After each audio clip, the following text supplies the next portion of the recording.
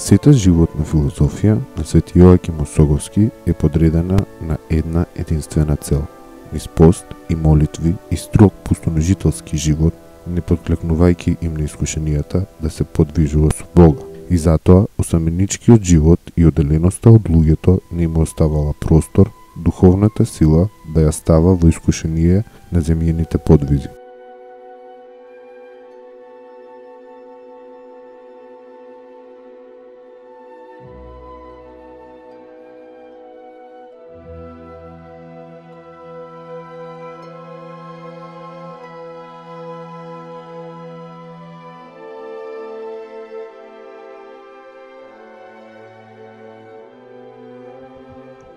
Со основањето на манастирот Свети Јоаким Осоговски, примерот на испусничкиот живот на светител станал образец на христијанскиот ритуал на живење, кривопаланечко и пошироко низ вековите. Манастирот бил стожер кој одржувал врската на народот со светителот. Преданијата кои во устна традиција се пренесувале од колено на колено до денес, од кои повеќето се базираат на житието го врзуваат светителот со својот манастир. Токму така, во манастирот доаѓа до израз заштитничката улога на светителот. Светителот е сам градител и заштитник на својот манастир. Она што е запишано во житието, дека манастирот нема да запусти никогаш, со силата на проповеданието се остварува и денес. Десет векови функцијата не е нарушена. Зачувани се неговата светост и достоинство.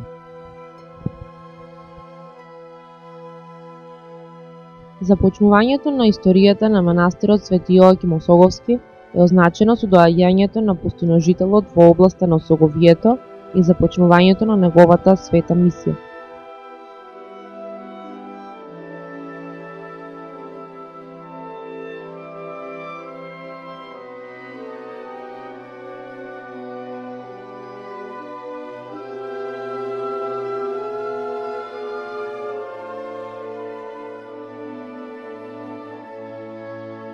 Во првата половина на 17 век се уште Македонија се наоѓа под турско робство.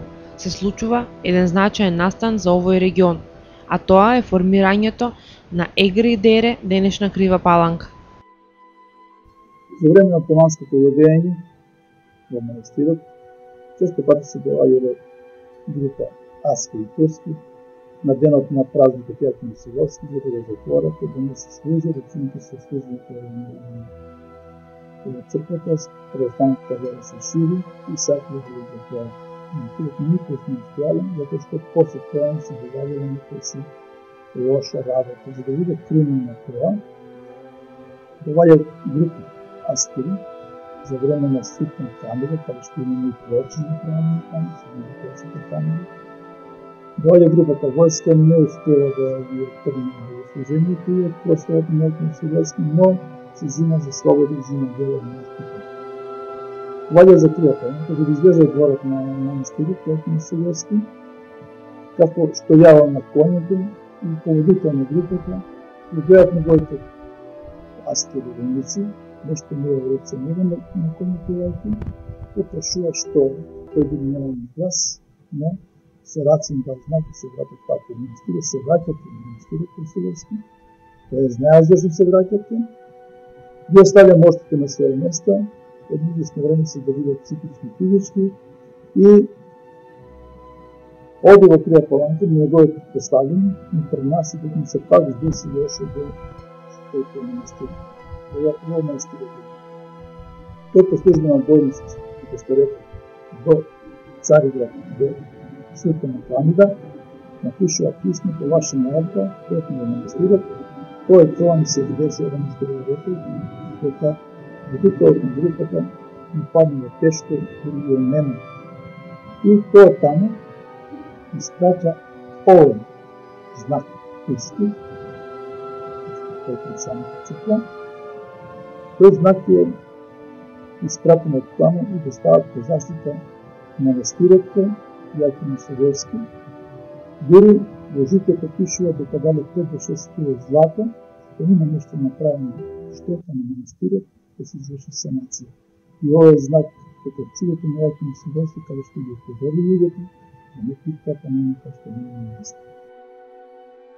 Со отварање на манастирските порти за меѓународната ликовна колонија Свети Јоаким Осоговски и за летната школа по архитектура, манастирот е промовиран во културен центар. Посетеноста е импозантна.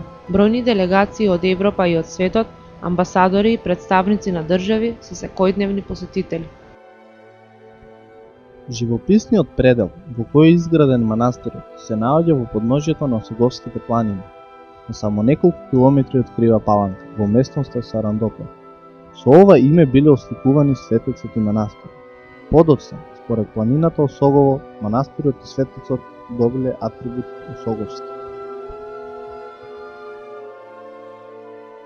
29 август, патрониот празник е кулминација која повеќе од три децении е израз на обшта духовна радост. 30 илјадни луѓе од сите краишта на земјата се дел од црковната процесија што се однесува во утринските часови пред големиот соборен храм на Свети Јоаким Осоговски.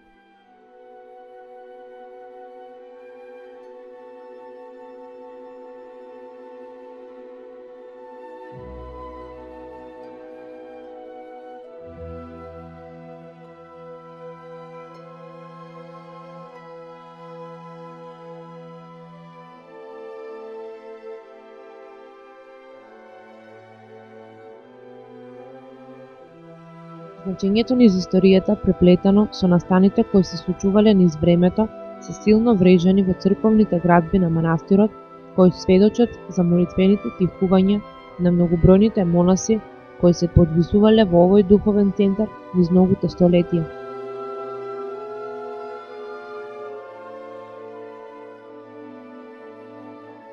Најмонументалниот објект на манастирскиот комплекс е големата манастирска црква посветена на преподобниот и богоносен отец, пустоножител и чудотворец Свети Јоаким Осоговски.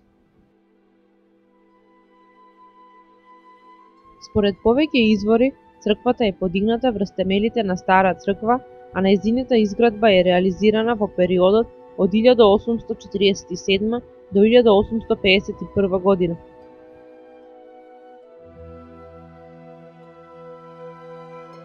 Работите за изградба му биле доверени на најголемиот градител на Балканот од почетокот на 19 век, протомајсторот Андреа Дамјанов. Црквата е изградена во јадрото на манастирскиот комплекс во близина на помалата и постара црква Рожденство на Пресвета Богородица, од каде што амфитеатрално се надвишуваат стариот конак и останатиот придружен архитектонски ансамбл.